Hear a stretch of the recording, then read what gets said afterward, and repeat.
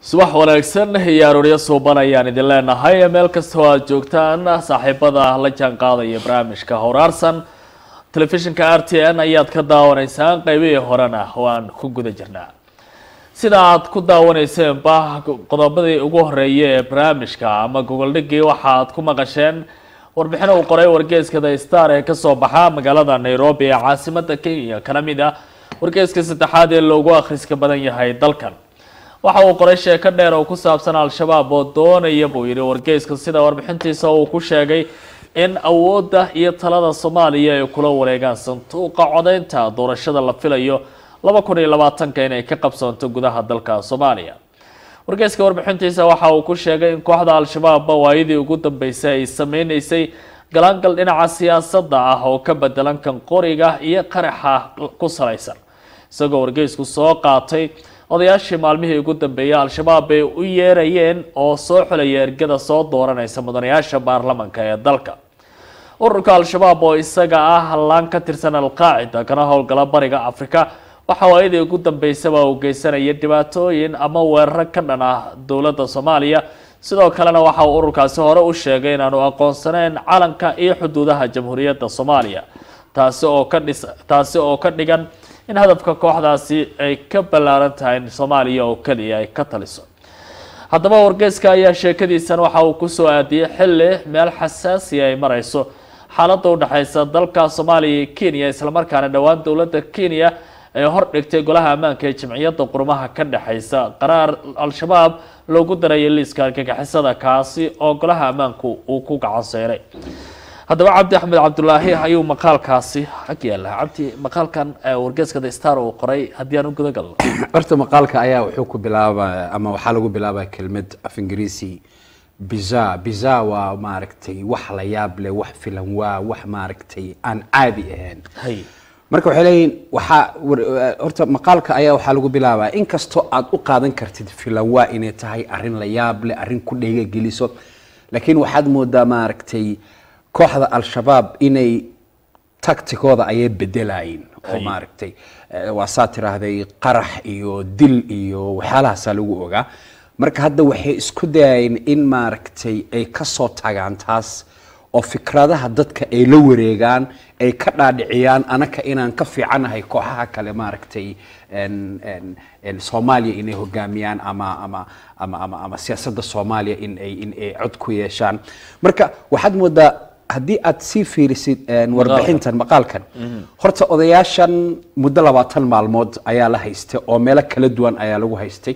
Waana odayaashii ka qayb qaatay doorashooyinkii maaragtay laba kun iyo lix iyo tobankii. Marka waxaa leeyahay xafiiska siyaasadda ee al-shabaab baa u yeeray. Si fiican ha. Marka waxaa lagu yidhi kaaleya tooba keena socon kartama marka waxay ka baqeen in maaragtay guryahooda loogu yimaado oo mid mid maaragtay loola baxo.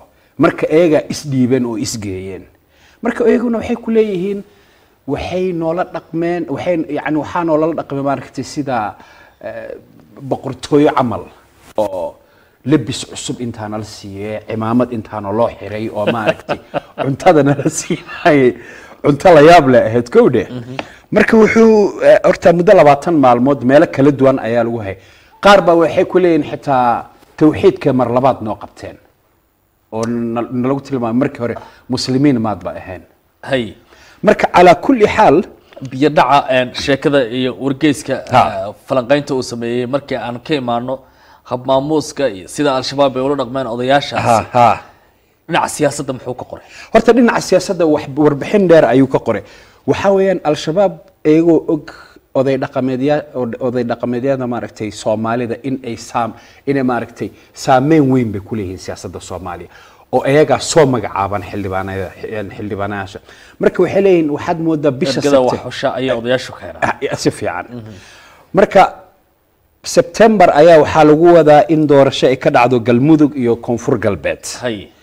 Waxaa sidoo kale maaragtay fooda nagu soo haya ama soomaaliya fooda ay wajahaysa doorashada laba kun iyo- labaatanka. Marka haddana maaragtay wararka hadda soo baxayo oo ku aadan in al-shabaab ay ku sii maaragtay xididaysanayso canshuur aruuridda magaalada muqdisho iyo meelo kale maaragtay oo dalka soomaaliya ka tirsan. Ayaa haddana waxay ka turjumaysaa tacticada cusub hadeertan ee al-shabaab wadato sidii ay maaragtay kaga muuqan lahayd ama ama ay iska dhex arki lahayd saaxadda siyaasadda. Haa aada iyo aad. Si fiican. Waa tahay maxaa qasbaya u leeyahay marka wargeyska ururkaasi oo dagaal galay? Wadamo fara badan ka xaaraana sidaad la socoto laba iyo labaatan kun oo askari oo amisom ay la dagaalamayaan. Maxaa qasbayaa leeyahay in hadda wejigii lagu yaqiinay mooyaane weji kale ay damcayaan sida wargeyska uu qorayo? Aha. muxuu ku sheegay? Horta wargeyska wuxuu ku sheegay in al-shabaab waxay rabaan in ay ka soo baxaan waxa loo yaqaano violence iyo waxaa loo yaqaano maaragtay qofka inaad in- inaad afkaartaada aad xoog maaragtay Uga dhaadhicin kartid. marka waxay rabaan hab siyaasadeed in maaragtay ay- soomaalida ula macaamilaan ama ama ama ama- ama meeshay rabaan maaragtay in ay ka muuqdaan. Marka odayaashan ayaa waxay leeyihiin maalintii aan soo baxaynay sida wargeyska u dhigaa laba laba boqol oo dollar ayaa farahana laga saaray waxaana noola waxaa ballanqaadkooda ayaa wuxuu ah saddex boqol oo dollar bil waliba. In nala siiyo. Marka de kole hadeertan ma jiro oday een, xaqiijin karo in uu weli lacagtaasi oo wargeyskan ka madax bannaan oo wargeyska ka madax banaan. Marka laakiin calaa kulli xaal waxaa weeyaan waxay noqonaysaa maaragtay in haddii wargeyska ayaa wuxuu qorayaa markii sanadka soo 2022 electionska waxay noqon doontaa gogol xaarkan hadeertan ay sii galaangalka odayaasha lagu yeelanayo ha lagu yeelanayo iyadoo arrintan ay taagan tahay oo wargeyskan inkasta uu isaga aragtigiisa yahay iyo qoraaga sheekadan sameeyey. Haddana een, odayaashaasi muu wargeysku sheegay in lagala hadlay in ergada ay soo xulayaan ay ka dhaadhiciyaan in nin al-shabaab ka tirsan oo siyaasiya loo keeni doono deetana kursi u tartamaya taama lagu sheegay? Ha dabcan sababta loo hayaba sababta maaragtay labaatanka maalmood sida iyagu sheegayeen oo maaragtay sida boqortooyo camal loo sooriyey ayaa waxay ahayd in hadafka al-shabaab ay wataan oo ku aadan odayaashan iyo maaragtay baahiday u qabaan iyo sidii eh, siyaasad ahaan ay wax uga dhaadhicin lahaayeen. Unbay noqon doontaa ama ay ka turjumi doontaa in 2022 la arki doono xildhibaan hebel hebel oo kooxda al-shabaab ka tirsan. Inkasta oo ra'yigaanu naga madax bannaaya wargeyska the star cabdi wargaahinta kenya waxaad moodaa waayadii ugu dambeysaba Ha. haddii ay noqon lahayd dadka qalinka wax ku cabira ee ee aqoon-yahanka ah een, taxliilka wargeysyada kenya ay bixiyaan in sheekada kenya ay ka qoraan ay kaga awood badan tahay middan soomaaliya ay ka qorayeen waayadii dambe maxay tahay sababtaad is leedahay ee wargeysyada kenya aadka ay diiradda ugu saarayaan soomaaliya waayadii dambe horta waxaa weeyaan waxaad moodaa maaragtay in editorial editorialka ama taxriirka. ama taxriirka ayaa wuxuu si furaya scoobka ama aragtida maaragtay dadku ay ka qabaan arrimaha ku saabsan soomaaliya arrimaha ku saabsan siibatan so waxaad moodaa haddana maaragtay aqoonyahanaha aqoonyahanada kenya iyo iyo- qorayaasha iyo maaragtay siyaasiyiinta in tan iyo markii ay bilaabmatay in bad la isku haysto ayaa waxaad moodaa dadka wadankan ku nool inay waxoogaa diiradda u yara wareejiyeen dhinacaasyo xamar dhinacaasyo jubbaland sababtoo ah dhinac walba haddii aad fiirisid barrow waxaan ku noolnahay waxa loo yaqaano global village. Tuulo yar oo casri ah ay- ayuu adduunkii noqday. Oo caalamka ay isku oo bedeshay haa haddana waxaad moodaa maaragtay xurgufka hadeertan ka dhexeeyo kenya iyo iyo soomaaliya een, maaragtay eh, calaaqaadka diblomaasiyada oo sii halaabayo Eh, kenya oo maaragtay dhowr jeer ku dhawaaqday waxaan rabaa al-shabaab inaan ku tiriyo maaragtay eh, liis argagixisada argagixiso mute waxyaabaha loo diiday ayaa waxaa ka mid ah.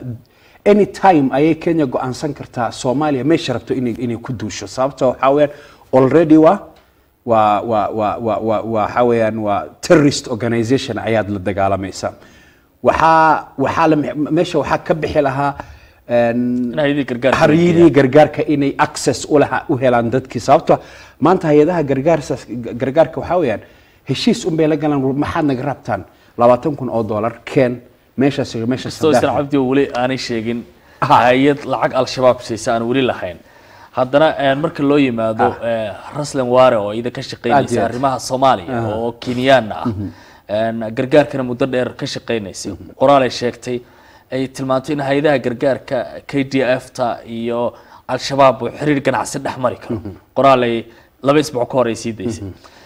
Een, odayaashan markaan u imaado iyo sida wargeyskan uu wax uga qoray waxay imaaneysaa xili ciidamada kenya k d f ta loo yaqaana ee amisom ka tirsan yihiin. Isla markaana ay ka howlgalayaan soomaaliya weliba gobollada jubbooyinka bal arintan may soo hadal qaadeen amisom waxaa kaga aadan mar haddii al-shabaab noocaasi een, iminka ay bilaabayaan sida wargeyska uu leeyahay horta wargeyskan Star sawirka guud unbay soo qaateen oo maaragtay al-shabaab iyo siday doonayeen odayaasha inay afkaartooda bedelaan sababto xitaa markay u tageen odayaasha waxay leeyihiin qaarkeen waxaana lagu yiri tawxiidka waa in waa in la idin qabto kow dheh Hay. marka waxay laakiin waa arrin guud ah oo maaragtay xitaa me- meelaha la sheegayo oo secret locationska lagu hayay odayaasha xitaa maysan ogeen waxay waxaa weeye dabcan si maaragtay si maaragtay qarsoodi baa loo geeyey.